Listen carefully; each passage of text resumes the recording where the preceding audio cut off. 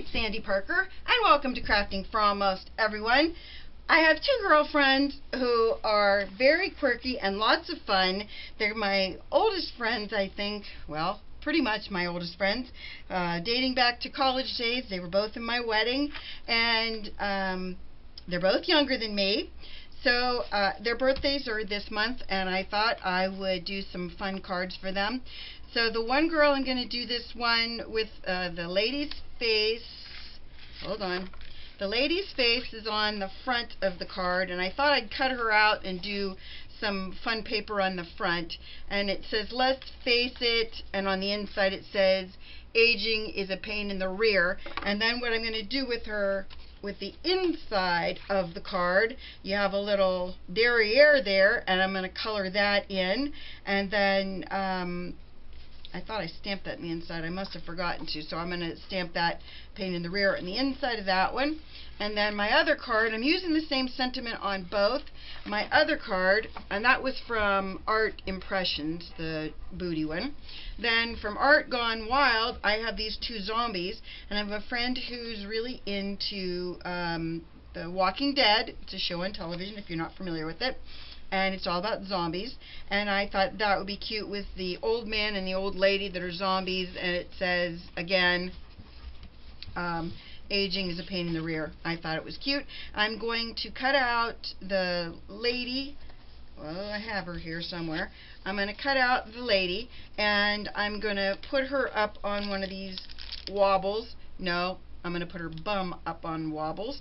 And then I'm going to do the same thing. I'm going to cut her out and I'm going to put her up on wobbles. So what I thought I would do is only color one while you're watching and probably the easiest one to color would be this lady because the, although I got the I got the markers out for the old people, uh, the the couple, so let me do them. Okay, so I'm going to do them, and I have the wobbles that I'm going to do um, her extra person in. I'm going to cut her out. I like to color them first and then cut them out. Of course, I lost my glasses in midstream. But luckily, I do have 500 pair right here. All right, six pairs, not 500. Who am I kidding? Wasn't 500. Jeepers creepers. I made that up. Alright, so I'm going to start out with her. I'm using alcohol markers, and I'm using my um, Touch 5s, and I'm going to be using these numbers, and they are W, G, 0.5, WG 2 and 3, then I'm using 26, 29, 45, 48, 6, 141, and 68 right now. I probably will be using more later, but that's what I'm using right now. And to color the um, the zombies, I'm using the grays, obviously, because, you know, that's what you'd use when you're coloring in some zombies.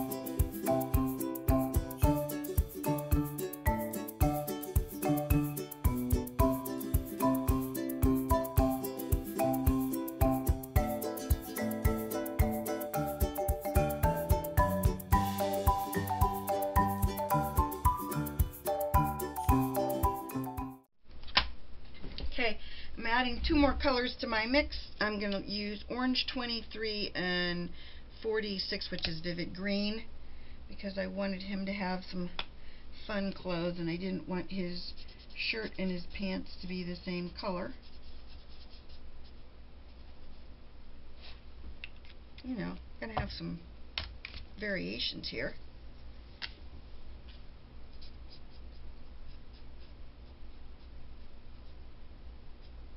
Now I'm going to get, I had it out here, here's my crab, and I'm going to use a, a dye, dye-based ink called Pumpkin Pie.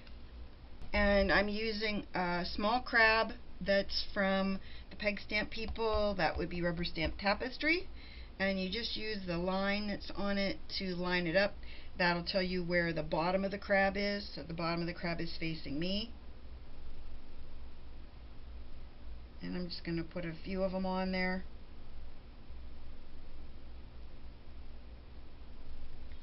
And then I'm going to put a little mask where his pants are. And then I'm going to stamp a crab right there.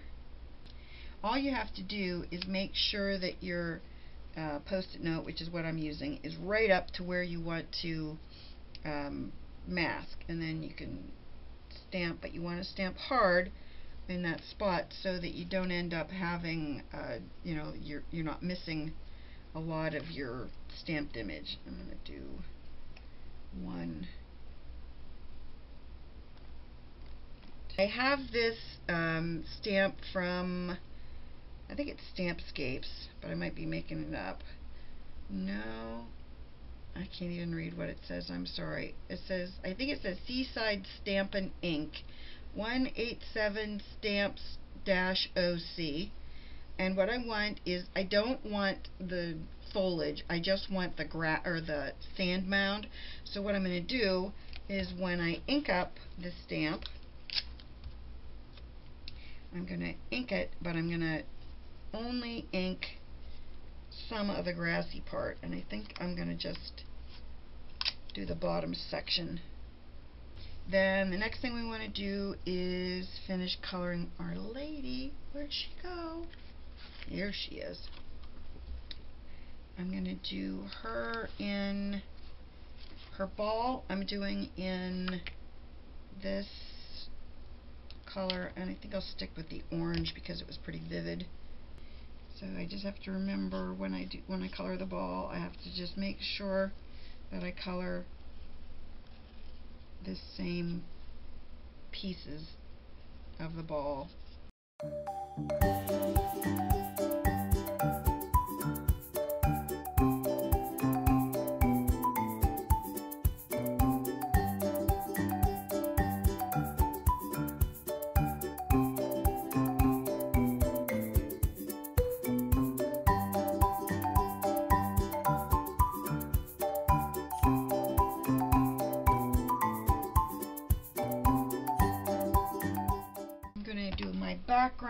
In a blue and when I do my background I'm just going to use my brushes and um, do it that way so that it's easier to get the color I want.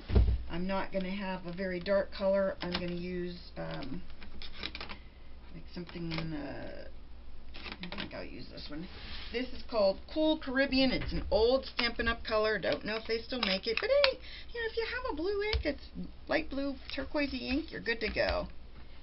And then I just start doing just little...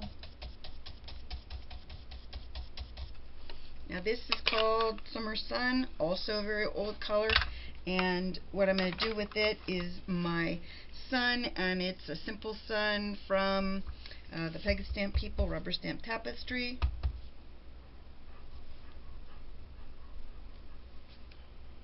Very simple sun. My sun is there, secure and for good. And I just need to finish my blue sky. It's a lovely day in zombie land. Okay, there's that. And then I'm going to take my brush in brown and just go over that a little bit.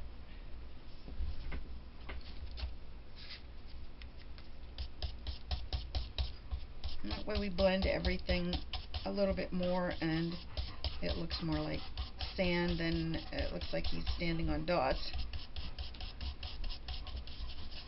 And this is crumb cake. I think it's also an old Stampin' Up! color they change their colors out and um, I don't change I don't get rid of them I know a lot of people don't like to have colors that are no longer um, active but if I like them then I buy the reinkers for them And I bought the Reinkers for a lot of these because uh, this was kind of the brand of ink that I chose to go with when I started stamping. And I don't regret that. They have a ton of colors. You know, if if you have the old colors, they have a lot of colors. Next up, I'm going to cut her out and then I'll be right back.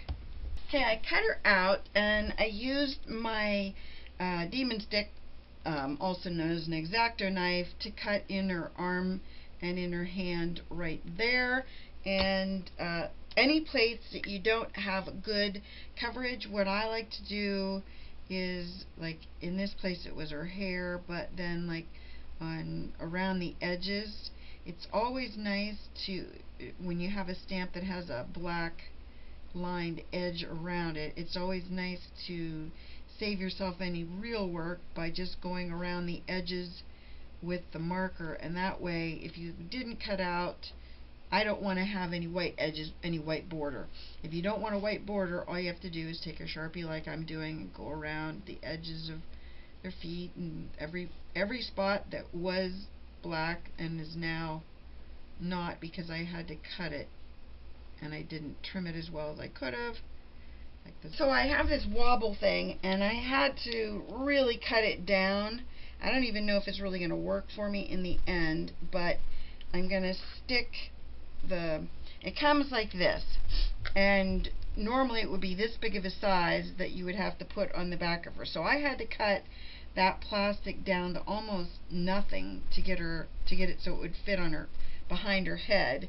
And then to make the other piece so it would um, actually wobble I had to play with it too because it didn't want to do any of the things it was supposed to do and start to come apart. So I'm hoping that at least it does part of the wobbly thing part of it at least I'm going to put a glue dot on the back of this plastic and hope I like it. Ugh. It's really warm here today, and my glue dots have really been a problem for me. On top of everything else, it hasn't been fun. Okay, so let's see how she does. She doesn't seem like she's quite as lined up as she needs to be. And she's not really wobbling.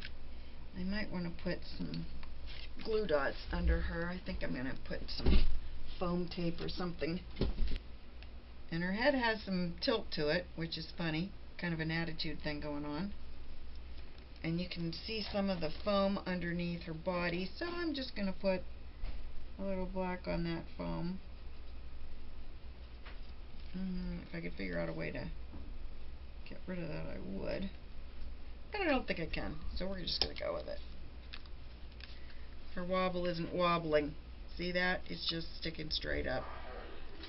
Anyway, so there is the card. Let's face it, aging is a pain in the rear. I'm going to have to take a some kind of paper.